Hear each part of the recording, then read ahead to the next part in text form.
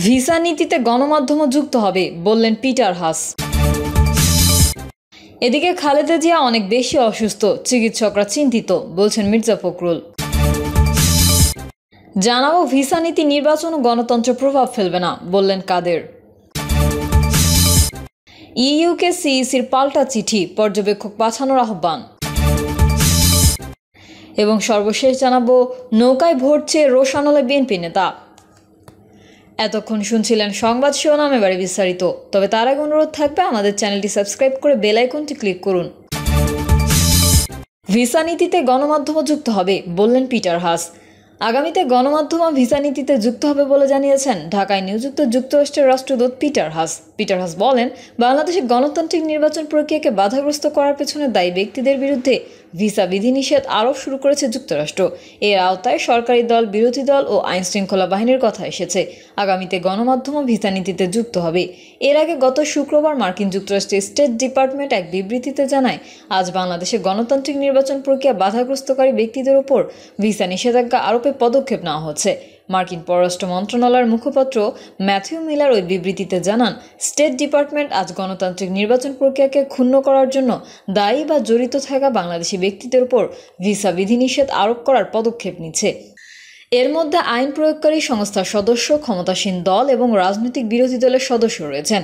বিবৃতিতে বলা হয়, আমাদের আজকের পদক্ষেপ শান্তিপূর্ণভাবে অবাধ ও নিরপেক্ষ জাতীয় নির্বাচন অনুষ্ঠানে বাংলাদেশের লক্ষ্যকে সমর্থন করার জন্য মার্কিন যুক্তরাষ্ট্রের অব্যাহত প্রতিশ্রুতিকে প্রতিফলিত করে।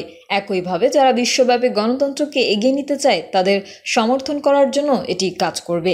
এর আগে চলতি বছরের চব্বিশে মে মার্কিন পররাষ্ট্রমন্ত্রী বাংলাদেশের জন্য নতুন ভিসা নীতি ঘোষণা করেন।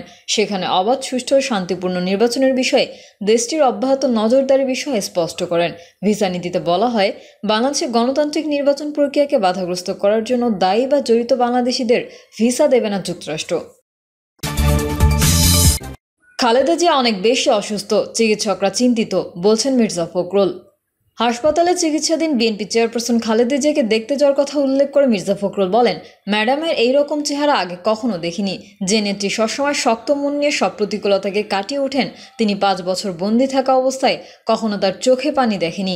গতকাল তাকে অত্যন্ত অসুস্থ দেখেছি। প্রথমবারের মতো মনে হয়েছে সত্যি আমাদের মাতা, নেত্রী অনেক বেশি অসুস্থ।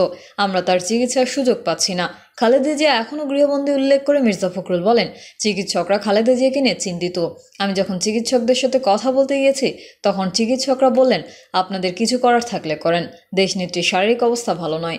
মির্জা ফখরুলের বক্তব্য চলাকালে মঞ্চের সামনে থেকে একজন কর্মী হঠাৎ করে স্লোগান দিয়ে ওঠেন ওই সময় কিছুটা ক্ষিপ্ত হয়ে মির্জা ফখরুল বলেন, এই ছেলে শুরু থেকে এমন করছে। যারা এমন করে তারা সরকারের দালাল। এদেরকে চিহ্নিত করে রাখুন। এরা বিএনপি কিংবা ছাত্র দলের বন্ধু নয়। সমাবেশে দলের স্থায়ী কমিটির সদস্য মির্জা আব্বাস বলেন, একই ধরনের মামলায় আওয়ামী লীগের তিন নেতা জামিন পেয়েছে।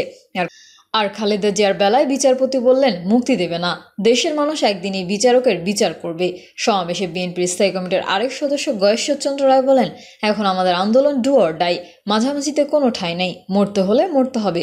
গুলি খেতে হলে খেতে হবে। এরপরও এই সরকারকে সরাতে হবে। পিছু হতা যাবে না। পুলিশ যা বাড়াবাড়ি করছে তার চেয়ে বেশি খারাপ আচরণ আদালত বিএনপির প্রতি করছে বলেও দাবি করেন গয়েশ্বর।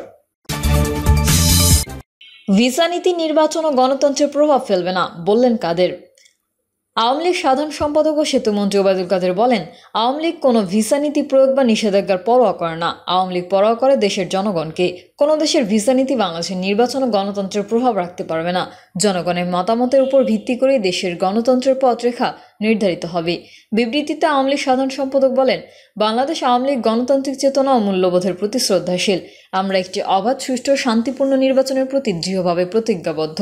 বাংলাদেশ আওয়ামী লীগ জনগণের উপর আস্থা রেখেই সরকার পরিচালনা করে আসছে। জনগণই আওয়ামী লীগের একমাত্র শক্তি।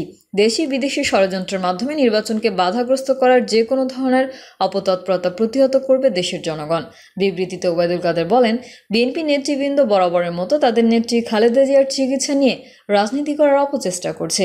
বিএনপি নেতৃবৃন্দের মনে রাখা উচিত, তারা কোনো আন্দোলনের মাধ্যমে খালেদা জিয়াকে মুক্ত করতে পারেনি। বরং প্রধানমন্ত্রী শেখ হাসিনার উদার মানবিকতার কারণে খালেদা জিয়া একজন দণ্ডপ্রাপ্ত আসামি হয়েও নিজ বাসায় বসবাস করছেন এবং নিজের পছন্দ মতো হাসপাতালে চিকিৎসা নিতে পারছেন। এই কারণে বিএনপি নেতৃবৃন্দের প্রধানমন্ত্রীর প্রতি কৃতজ্ঞতা প্রকাশ করা উচিত। কিন্তু বিএনপি তা না করে মিথ্যাচারের মাধ্যমে জনগণকে বিভ্রান্ত করার অপচেষ্টা করছে। একই সাথে এই বিষয়টি নিয়ে রাজনীতি করতে গিয়ে আইন বিরোধী কথাবার্তা বলছে। বিবৃতিতে তিনি বলেন, বিএনপি নেতৃবৃন্দের প্রতি আহ্বান জানাই, ষড়যন্ত্রের পথ পরিহার করে নির্বাচনের প্রস্তুতি গ্রহণ করুন এবং রাজনৈতিক সংকট সৃষ্টির পায়তারা থেকে সরে আসুন। জাতিকে বিভক্ত করার দুরভিসন্ধি থেকে বিএনপিকে বেরিয়ে আসতে হবে। তা না হলে দেশের জনগণের গণতান্ত্রিক চেতনা ও সংস্কৃতিকে বিনষ্ট করার দায় তাদের নিতে হবে। নির্বাচনের মাধ্যমে জনগণ যাদের ভোট দেবে, তারাই রাষ্ট্র ক্ষমতা অধিষ্ঠিত হবে। নির্বাচনকে বাধাগ্রস্ত করার অপচেষ্টা করলে যে কোনো উপায়ে তা প্রতিহত করা হবে। ইইউকে সিইসির পাল্টা চিঠি পর্যবেক্ষক পাঠানোর আহ্বান। আগামী জাতীয় সংসদ নির্বাচনে পর্যবেক্ষক পাঠানোর অনুরোধ জানিয়ে ইউরোপীয় ইউনিয়নকে পাল্টা চিঠি দিয়েছে প্রধান নির্বাচন কমিশনার কাজী হাবিবুল আওয়াল চিঠিতে তিনি বলেছেন, নির্বাচন কমিশন আশাবাদী যে সরকার সুষ্ঠু নির্বাচন অনুষ্ঠানে সহযোগিতা করবে, সুতরাং নির্বাচন অবাধ ও সুষ্ঠু হবে। তাই কমিশন চায় ইইউ তাদের পর্যবেক্ষক টিম পাঠাক। তিনি জানান, সম্প্রতি ইইউর পক্ষ থেকে একটি চিঠি এসেছিল। সেখানে জানানো হয়েছিল, তারা পূর্ণাঙ্গ পর্যবেক্ষক টিম পাঠাতে পারবে না। আর সিইসি ইউ এর চিঠির জবাব দিয়েছে। ওই চিঠিতে বলা হয়েছে, সরকার ও সবার কাছ থেকে আমরা যে সাপোর্ট পাচ্ছি, সবার সহযোগিতা নিয়ে অবাধ, নিরপেক্ষ, গ্রহণযোগ্য নির্বাচন উপহার দিতে সক্ষম হব বলে আশা করছি। আপনাদের কাছ থেকে সবসময় যে সহযোগিতা পেয়ে এসেছি, তা যেন অব্যাহত থাকে সেই আশা করব। আমরা মনে প্রাণে বিশ্বাস করি ইইউ ছোট পরিসরে হলেও টিম পাঠাবে এবং নির্বাচন পর্যবেক্ষণ করবে। নির্বাচন কমিশনার আহসান হাবিব খান বলেন, আমরা সবসময় আশা করব এনকারেজ করব যেন উল্লেখযোগ্য সংখ্যক দেশীয় আন্তর্জাতিক পর্যবেক্ষক আমাদের নির্বাচন পর্যবেক্ষণ করেন। ইইউ একেবারেই কোনো পর্যবেক্ষক পাঠাবে না এমনটা বলেনি। পূর্ণাঙ্গ দল পাঠাবে না বলে জানিয়েছে। কারণ হিসেবে তারা বাজেট স্বল্পতার কথা উল্লেখ করেছে। তিনি বলেন, আমরা মনে করি যত বেশি পর্যবেক্ষক ইলেকশন প্রসেস মনিটর করবে, তত বেশি নির্বাচন স্বচ্ছ হবে। নৌকায় ভোট চেয়ে রোশানলে বিএনপি নেতা। হবিগঞ্জের মাধবপুরে বেসামরিক বিমান পরিবহন ও পর্যটন প্রতিমন্ত্রী অ্যাডভোকেট মাহবুবুল আলীর উন্নয়ন সভায় বিএনপি নেতা চেয়ারম্যান মীর খোরশেদ আলমের নৌকায় ভোট চাওয়াকে কেন্দ্র করে বিএনপির মধ্যে খুব দেখা দিয়েছে। বিএনপি নেতাদের বক্তব্য হচ্ছে, এই মুহূর্তে দল সরকারকে হচানোর লক্ষ্যে মাঠে প্রাণপণ লড়াই করে যাচ্ছে।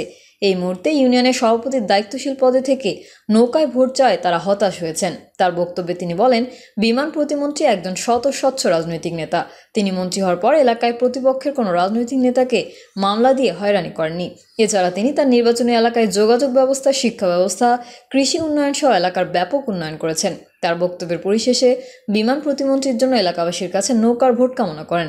এ ধরনের বক্তব্য সামাজিক যোগাযোগ মাধ্যমে ছড়িয়ে পড়লে বিএনপির নেতারা হতাশা ব্যক্ত করেন।